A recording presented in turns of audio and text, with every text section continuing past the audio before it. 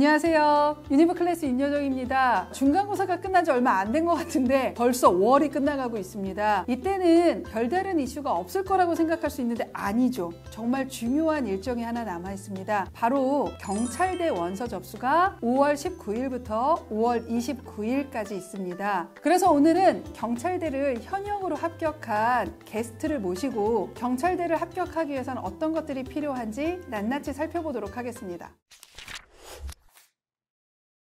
어, 제복. 네. 안녕하세요. 안녕하세요. 자기소개 좀 부탁드릴게요. 아, 네. 안녕하세요. 저는 올해 현역으로 경찰대학을 입학한 경찰대학 43기 이성민 학생입니다. 제복을 맨 처음에 입었을 때 좀 어땠어요? 어린 나이에 사실 제복을 입다 보니까 책임감도 많이 느끼고 다 좋고 멋있기만 한 것뿐만이 아니라 되게 무거운 책임감도 많이 느껴졌던 것 같습니다. 언제부터 경찰이 꿈이었을까요? 저 같은 경우는 사실 꿈이 굉장히 다양했는데요. 예를 들어 뭐 신소제공학자 아니면 뭐 변호사, 이제 뭐 장례지도사 뭐 이런 뭐? 직업도 장례지도사? 관심을 네. 가졌던 적이 많고 어. 고2 때부터 경찰이라는 직업은 좀 관심을 가지고 하고 싶다라는 생각을 가졌던 것 같습니다. 아, 관심 있는 분야가 문이과를 좀 넘나드는 네, 맞습니다. 좀 다양하게 관심이 있었는데 그러면 고2 때 왜 꼭 경찰대를 가야겠다라는 어떤 결정적 계기가 있었을까요? 결정적 계기라기보다는 음. 이제 경찰 같은 경우는 어떻게 보면 그 권력을 가진 사람 중에서 가장 일반 시민들과 가까이 있는 사람이라고 생각합니다. 제가 이 권력을 가지고 많은 시민분들을 지켜주는 사회적 울타리가 되고 싶다라는 생각을 해서 이제 경찰이라는 직업을 꿈을 어. 가지게 된 것 같습니다. 어, 너무 이타적인데? 와, 그래서 경찰대? 네, 맞습니다. 아, 경찰대는 좀 생소해요. 이제 합격했으니까 우리 간략하게 경찰대 입시 과정에 대해서 좀 설명을 해보면 어떻게 설명할 수 있을까요? 일단 경찰대 같은 경우는 이제 5월에 원서 접수를 받고요. 그렇죠. 그다음에 이제 7월 중에 1차 시험을 봅니다. 그 1차 시험 같은 경우는 이제 세 과목으로 구성이 되어 있는데 이제 국어, 영어, 수학을 봅니다. 그다음에 2차 시험을 이제 9월 중에 보게 되는데 2차 시험 같은 경우는 이제 신체 검사와 체력 검사, 그다음에 이제 적성 검사로 나누어져 있습니다. 마지막으로 수능을 치른 이후에 이제 그 2차 시험에 있던 면접을 시험을 진행을 하고 12월 말에 합격 여부가 발표되게 됩니다. 우리 최종 합격자 결정 방법에 대해서 조금 더 부연 설명을 하면 각 시험별로 반영비를 1차는 시험 200점, 체력 검사 50점, 면접 100점, 학생부 150점. 이게 2차. 그다음에 수능이 무려 500점. 총점이 1000점일 때 수능이 500점이고 나머지를 다 합쳐서 500점이니까 수능이 압도적인 비율을 좀 갖고 있어요. 네. 그래서 수능까지 잘 봐야 되는 내신 본다, 국영수 자체 시험도 있다, 체력도 본다, 수능도 본다. 엄청난 코스를 통과해야지 붙을 수 있는 케이스인데 자 그러면 우리 한번 본격적으로 성민 학생의 입시 과정을 좀 알아보려고 해요. 일단 이의 고등학교 나왔어요. 네. 그렇죠. 수원에 있는 일반고고 내신은 좀 어떻게 나왔어요? 어, 내신 같은 경우는 이제 총 내신이 1.73 정도 음. 나왔습니다.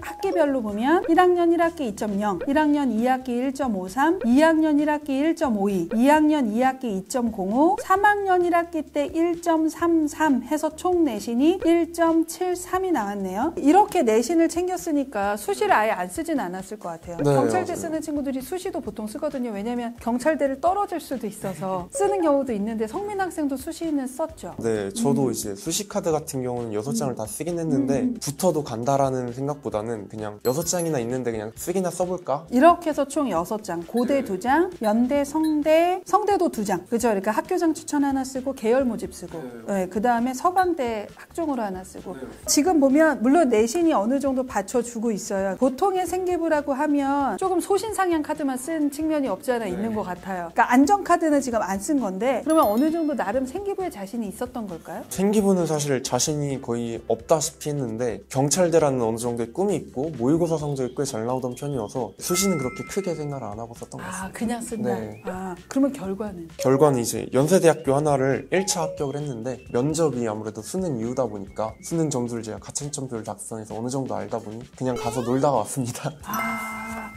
경찰대를 갈 운명이었다. 뭐 이렇게 생각해야 되겠네요. 1차 시험 준비는 좀 어떻게 했어요? 사실 1차 시험 준비라고 해서 막 따로 엄청 많이 한 건 아니고 이제 뭐 시험 한 3일 전에 이제 한 5개년 정도의 기출을 한 세번 정도씩 반복해서 풀어봤습니다. 음, 그 정도로 충분했다. 네, 그 정도면 충분합니다. 수능 공부를 어느 정도 한 학생이라면. 그렇죠.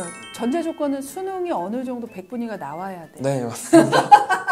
국영수가 완전히 수능하고 매칭되지는 않지만 보통 수능 대비 라고 생각을 할 때는 어느 정도는 한 번은 도전해봐도 되는 시험이라고 볼 수 있지 않을까요? 저 같은 경우는 이제 실전성이라는 것을 굉장히 중요시하는데 이 경찰대 1차 같은 경우도 어떻게 보면 실전이기 때문에 실제 시험장에 가서 그 긴장감과 절박함 뭐 그런 분위기들을 보는 게 저는 수능 시험장에 갔을 때 되게 도움이 많이 됐던 것 같아서 수능을 준비하는 친구들이라는 뭐 경찰대를 굳이 안 올 것이라도 1차 시험 한 번 정도는 보는 게 굉장히 좋지 않을까 꼭 경찰대가 아니더라도 내가 조금 더 수능하고 가장 유사한 환경에서 보는 게 육모나 구모는 아니거든요. 그거는 정말 그냥 학교에서 되게 네, 편하게 볼. 수 있는 거고 사관학교나 경찰대가 가장 딱 그 유사한 환경에서 볼 수 있는 시험이라서 지금 늦지 않았으니까 경찰대 원서 접수 전에 꼭 고민을 해보고 어, 웬만하면 좀 한번 봤으면 좋겠다라고 저도 좀 권유하는 편이다라고 생각이 듭니다. 자, 2차 시험은 체력이에요. 이게 배점이 적다고 해서 합불에 영향을 안 주는 게 아니잖아요. 네. 어떻게 준비했어요? 언제부터? 체력 시험이 과락이라는 게 있다 보니까 여기서 떨어지면 진짜 끝이라서 맞아요. 한 달 정도 전부터 학원을 다녔습니다 체력 준비 학원 네. 경찰대 준비할 건 아니고 체육 입시 뭐 체대 이런 거 그죠? 체대 입시하는 데 네. 다니죠 보통 체력 검사 어떤 거예요? 저 때는 이제 뭐 팔굽혀펴기, 윗몸 일으키기, 그다음에 뭐 셔틀런, 50m 달리기, 악력 이런 것들이 있었습니다. 이제 저 때랑은 이번부터는 이제 바뀌었다고 들어서 순환식 체력 검사라고 해서 이제 패스, 페일만 나누는 것이었고, 아, 아, 그러면 조금 더 pass and fail이 됐으니 체력 검사의 비중은 좀 낮아진다라고 봐야 되겠다. 네 많이 나서. 그렇죠. 성민 학생이 할 때보다는. 네. 음. 자, 요렇게 해서 준비를 해서 2차를 봤어요. 그리고 나서 수능을 보면 면접을 봐요. 세 종류의 면접을 보잖아요. 네. 그것 좀 한번 소개해 주세요. 일단 처음으로 이제 인적성 검사라고 해서 이제 이 학생이 경찰대 학생이 될 만한 도덕심을 가지고 있나를 이제 처음으로 검사를 하고요. 뭐 물어봤어요, 그때? 저의 양심을 1에서부터 10까지 중에 표현을 해봐라. 스스로 평가해봐라. 이게 인적성 면접. 두 번째는 네. 두 번째는 이제 집단 토론 면접이라고 음. 주제 하나가 주어지고 거기에 다섯 명, 여섯 명 정도가 함께 들어가서 찬반을 나눠서 음. 이제 서로 자유 토론을 하는 형식의 면접이 하나 있었습니다. 그때는 주제가 뭐였는지 기억나요? 정신병이 있는 환자분의 강제 입원을 법원에서 결정을 해야 되나 아니면 병원에서 결정을 해야 되나 그것이 어렵다. 네, 어려웠습니다. 근데 제게 좀 어. 특히 어렵고 뭐 다른 친구들 거 들어보면 생각보다 쉬운 질문들도 있고 아, 그렇죠. 그러니까 약간 이게 복불복이라. 네. 아, 근데 이거는 진짜 판단하기가 조금 어려울 수는 있겠다 싶은 생각이 들어요. 그러면 마지막으로는 이제 창의성 면접이라고 해서 이게 저도 가장 많이 당황을 했던 면접인데요. 신기한 질문 하나 던져놓고 이것에 대해 어떻게 답변을 하는지. 신박한 질문 뭐 나왔을까? 어, 저 같은 경우는 이제 뭐 립스틱 100개를 남고에 가서 팔아봐라 뭐 이런 질문을 해주셨습니다. 리스틱 100개를 남고해서 대답 어떻게 했어요? 그때가 이제 연말이 곧 되는 시기였기 때문에 이제 곧 연말이니까 뭐 여자친구나 부모님들이 좋아하는 색이라고 홍보를 해서 팔겠다 뭐 이런 식으로 해서 답변했던 것 같아요. 부모님과 애인에게. 아, 그렇게. 음. 자, 그래서 1차도 했고, 2차도 했고, 이제 3차 면접까지는 좀 얘기를 했어요. 근데 이렇게 해서 이제 50%인 거고. 네. 나머지 50%는 수능이에요. 계속 수능 준비는 안 하지 않고 그냥 꾸준히 했었을 것 같기는 해요. 보통 수능 준비는 좀 각 과목별로 어떻게 했는지 소개해 줄 수 있어요? 국어부터. 일단 저는 메가패스라는 패스를 끊고 거기는 인간 강사 선생님들의 강의를 되게 많이 참고하면서 했는데 국어 같은 경우는 이제 기초를 김동욱 선생님의 강의를 들으면서 다졌고 기초를 다신 후에는 이제 각 분야별 로 선생님들 다르게 해서 들었는데 저 같은 경우는 언매를 선택해서 이제 언매는 전영태 선생님의 아, 강의를 듣고 유명하시니까. 비문학 같은 경우는 강민철 선생님 그 다음에 이제 문학 같은 경우는 최인호 선생님의 강의를 뭐야, 다 들은 거잖아. 웬만한 선생님 거 다 들은 거네, 매가 있는 거. 네 맞습니다 그러면 일단 수학은요? 이과니까 수학이 매우 중요하고 네. 그 다음에 경찰대 시험에서도 수학이 매우 중요하잖아요. 네, 수학 같은 경우도 이제 인강 선생님을 저 같은 경우는 네분 거를 기본 네 분이야. 어떻게? 현우진 선생님, 그다음에 뭐 김성은 선, 아. 선생님, 양승진 선생님, 그다음에 김기현 선생님의 강의. 다 듣진 않고 그 부분 부분 맞는 것만 들었던 거예요. 어, 수학 같은 들었어요? 경우는 다 인강을 다 들었다고? 인강을 다 듣기보다는 거의 그냥 교재를 다 사서 다 풀고.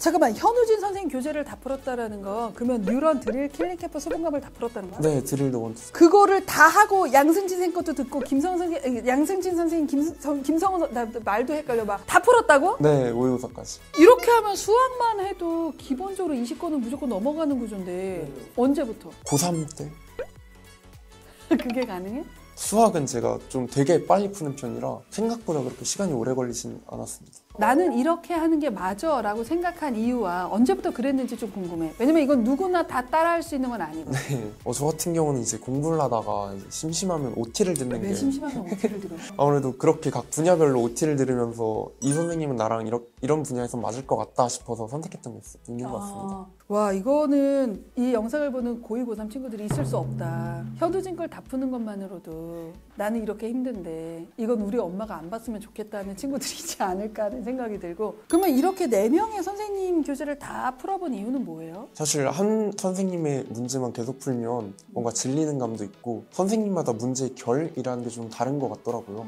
그래서 그런 결들을 많이 체험하기 위해 많이 풀어봤던 것 같고 그냥 수학은 재밌어서 많이 풀었던 것 같습니다. 다른 거 보기.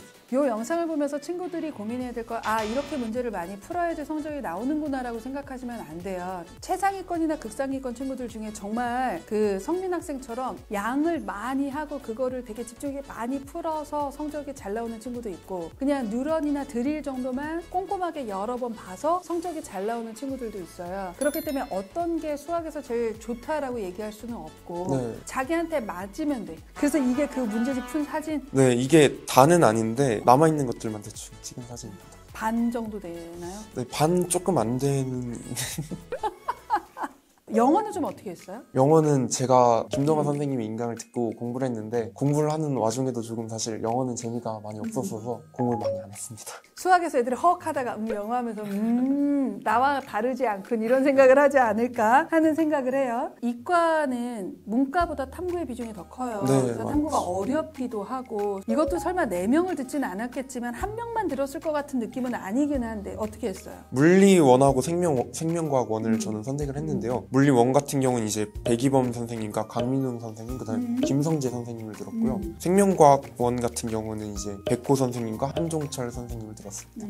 그래서 두 과목에서 다섯 분 수학보다는 적게 들었다 뭐 이렇게 봐야 되겠네요 우리 보통 인강으로만 공부하면 불안해하는 친구들 많아요 고3 때 그런 얘기 주변에서 많이 했었을 거예요 꼭 지켜야 될 원칙 또는 인강으로 공부하는 건 이런 건 좋지만 이런 건 좀 안 좋다라는 것을 수능 준비하는 친구들한테 해준다면 어, 일단 저는 공부를 할때 가장 중요하다고 생각을 했던 게 목적과 이제 내가 이걸 왜 하는지에 대한 그런 생각을 꾸준히 하는 게 중요하다고 생각을 했어요. 인강 하나를 듣거나 문제 하나를 풀더라도 내가 왜 이 인강을 듣고 내가 왜 이 문제를 풀지? 내가 이 문제를 풀므로써 얻어갈 수 있는 것은 무엇인지를 계속해서 꾸준히 생각을 하고 계속해서 고민을 멈추지 않는 것이 저는 굉장히 중요하다고 생각을 합니다. 내가 이것을 풀어야 되는 이유, 이것을 어떻게 풀 것인가에 대한 사고를 멈추지 않은 채로 양을 늘렸기 때문에 성적이 나올 수 있었던 거지. 거봐, 저 형도 양치기 했는데 저 대학 갔대. 라는 얘기 하시면 절대 안 된다라는 거 혹시 몰라서 노파심에 말씀을 드리고요. 자, 그래서 수능 성적은 좀 어떻게 나왔을까요? 영어가 아까 말씀드렸던 대로 1이 안 나고 2가 나와. 음, 음, 그럴 줄 알았어.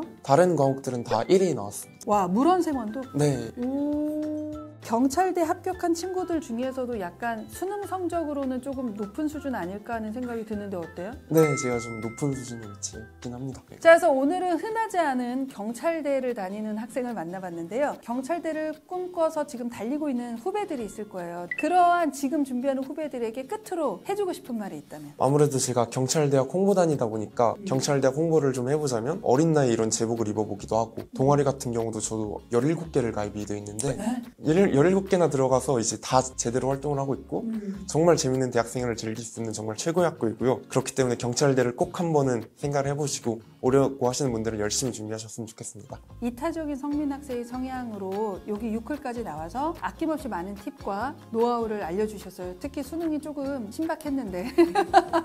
자, 그래서 지금 이렇게 영상을 보고 계시는 2, 3학번 대학 새내기 분들이 있다면 수능이든 생리부든 내신이든 나만의 노하우가 있고 이거를 이제 공유하고 싶은 이타성이 있는 새내기 선배들이라면 주저하지 마시고 신청 부탁드리겠습니다. 자, 오늘처럼 유용한 정보를 더 알고 싶으시다면 뭘 해야 될까요? 구독, 좋아요 부탁드리겠습니다. 감사합니다. 감사합니다.